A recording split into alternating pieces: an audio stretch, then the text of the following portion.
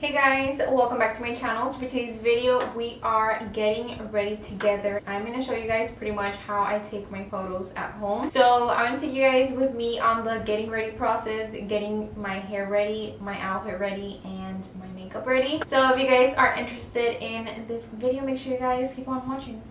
But before we get started, I do want to share with you guys that this video is sponsored by Savage X Fenty and I am so excited for that because you guys don't understand how much I really like the pieces and I just can't wait to share them with you guys. So if you guys didn't know, Savage X Fenty is a lingerie line that carries different styles, different sizes. They do run from 32A all the way to 42H, which I love. Quality is amazing. It is really stretchy. It is really smooth. Nothing is, you know, uncomfortable. And you guys, the best thing about it is that literally every everything. When i say everything i mean everything is less than 50 dollars which honestly sometimes it is pretty hard to find good quality lingerie that is less than 50 dollars. So let me just share with you guys some of my favorite pieces at the moment. So number one are these pjs right here. So this is pretty much a want onesie and i love it. It is so comfortable. Let me just go ahead and zoom this out. I'm gonna go ahead and put the names of everything right here but this is honestly my number one out of everything that i'm going to show you guys. This is how it looks pretty much. It's super cute.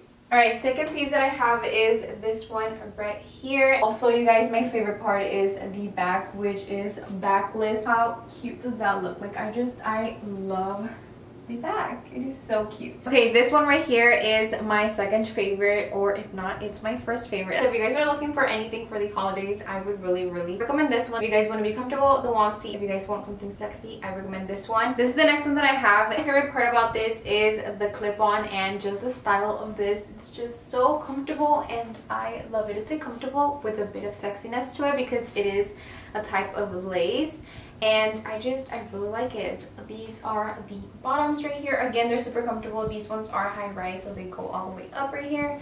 And it is like a high leg cut as well. Okay so this one right here is also one of my top favorites because I love the color of this. And also it has a high leg cut and it does have like this keyhole right here in the front which is a bit sexy. Honestly my favorite part about this like I said before is the color. The color is just stunning and I love it. So this is the way that this one looks. Everything both of these are really really stretchy. And the leggings of course are high-waisted because your girl cannot live without high-waisted pants. And yeah i feel like this is honestly really cute really huggable. And again really comfortable. You can literally be wearing it at home. Super comfy. And yeah doesn't like this. Like it's so cute. So if you guys are interested in anything that i just mentioned or showed make sure you guys go down to the description box where you guys will see a link at the very top click on that and it will take you to the Savage X Fenty website. So you guys, they're actually having a sale right now, which is 65% off the entire website. Plus, you guys get free shipping if you guys become an extra VIP member, which is honestly an amazing deal. And if I were you guys, I would honestly take advantage of it because I don't know if they're ever going to have 65% off the entire website again. So, and once again, thank you so much to Savage X Fenty for sponsoring this video. And let's go ahead and get back to the video. Okay, so let's get started. So I already went ahead and primed my face and moisturized it. So we're gonna get started with foundation. So I'm just gonna dab it everywhere. Then I go ahead and use my sponge and I just blend everything together. Okay, so now I'm going to apply my concealer, which is the darkest shade that I have. It's pretty much just like my foundation color, and I'm going to apply it to any dark spots that I have or pimples. Now for the fun part, I use the lighter concealer, and this one I do apply it under my eyes. And now I just go ahead and apply it like that, the inner corner and then the outer corner, the bridge of my nose. And now I'm going to go ahead and start blending my under eye concealer. I'm going to set my face and I use the regular powder to set over my face and then just to reverse contour, I use the lighter powder. Now to reverse contour, I go ahead and just get my lighter powder, which is pretty much white. But first I'm going to go ahead and lightly contour it with my bronzer. And I'm also going to set the concealer at the top right here. It looks like a mess, but it's gonna come out better, I promise. Meanwhile, that said, we're gonna go ahead and do our bronzer, and I actually already ran out of bronzer. And I like a lot of color on my face now, so literally just scraping this thing. I always add it to my cheeks and not my, not the hollows of the cheeks, because then it's too low. And I always add it here to the temple. I don't know why, but I like that part bronzed, so sure bronze all of this. Now I'm gonna do my eyeshadow and I'm pretty much gonna do the same thing with the bronzer. Just quickly add it to my eyes. Also having coffee because I have not eaten and I am really hungry. So, you know, a little bit of coffee. This one is from Wendy's. This is actually my first time trying this coffee. So later on, I'm to go ahead and apply more bronzer if I feel like I need to.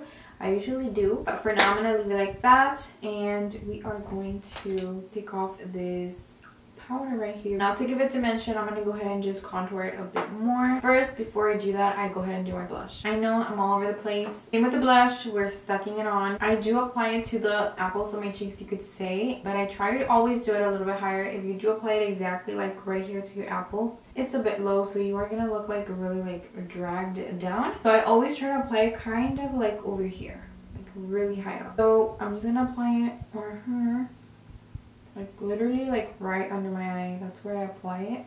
And then I do drag it up a bit.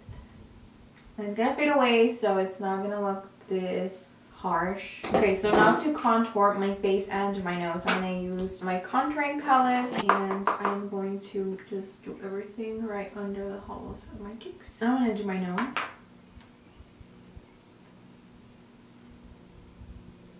I'm just gonna go ahead and do my winged liner with my powder, my brown powder. Okay, so moving on, I am going to be adding eyeliner to my waterline. Trust me when I say it makes your eyes stand out so much more but in a very subtle way. I'm gonna go ahead and tightline the upper part. I do always use a brown eyeliner, but I sadly ran out. So I'm gonna use black. It's not the same. I repeat, it's not the same. But I need to go get a brown one ASAP. I actually need to buy a few things. And I'm thinking that I should probably do like a shop with me and get some of my favorite things. Let me know because I need a few things. I'm gonna go ahead and put on my lashes now. We'll be right back. I don't feel like there's gonna be such a difference. It's gonna look a little bit similar to what I already have going on. So just three, two, one. Okay, so moving on, we are going to our lips and you guys look at my little pencil. I'm telling you guys, I need to go shopping because everything that I have now is like almost gone or it's already gone. I'm gonna use my little lip liner and just overline my lips. Okay, and now a little bit of gloss. It's just clear gloss. I always go in with clear gloss. Alright, and this looks like the final makeup look. It's pretty basic pretty simple literally what i always do okay so it's time to do my hair this is the way that i usually do things when i'm like not filming so i always straighten my hair first which i already have it done and i don't really do my hair just straighten it and then i go ahead and get into my makeup once I'm done with my makeup, I go ahead and change into my outfit and then I fix my hair. This time I'm going to do it the other way just because I'm not sure what outfit I'm going to be wearing. So I'm going to go ahead and do my hair first. I'm going to connect my strainer and I am going to kind of do my hair really quickly. Also, you guys, I feel like my hair is a little bit longer. What do you guys think? From the last time that I showed it to you guys, I feel like it's grown like half an inch or an inch. And I am thinking of cutting it a bit more because it already looks long or either I got used to it or I don't know. Pull it in and you guys are gonna see right now the end result. I will be right back. Okay, so I'm done and this is the way that I ended up styling it.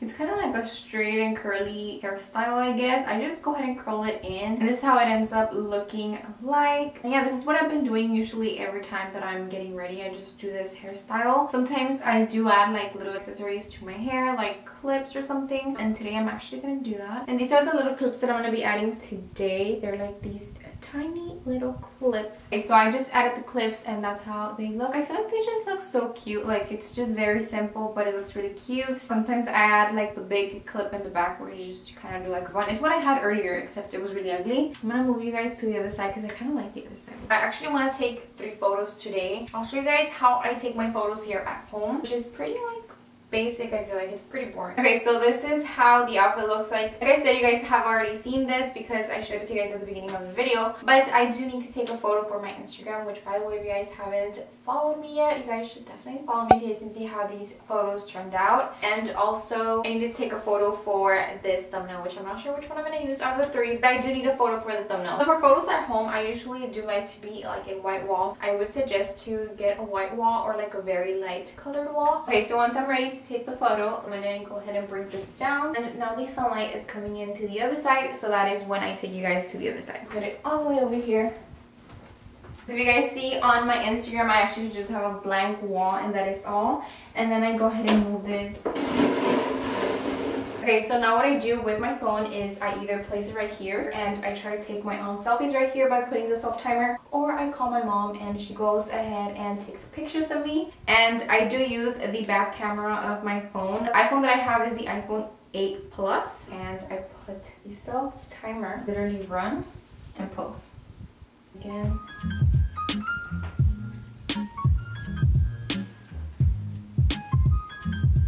I've been taking a few and see I still have to edit them but I have a few right here. So now I'm going to go ahead and pretty much pick one and start editing. I'm going to take another photo with and I am going to take the pictures. And yeah, that's pretty much have the photos. I did take a few and as you can see, I just need a pick well yeah i guess this is pretty much the end of the video. I feel like it was kind of hard to show you guys how i take photos. By the way you guys should definitely leave recommendations down below because i don't know what to film anymore. I think i have a few ideas but i still want to add more ideas to my idea list just in case you guys want something like specific you know. Bye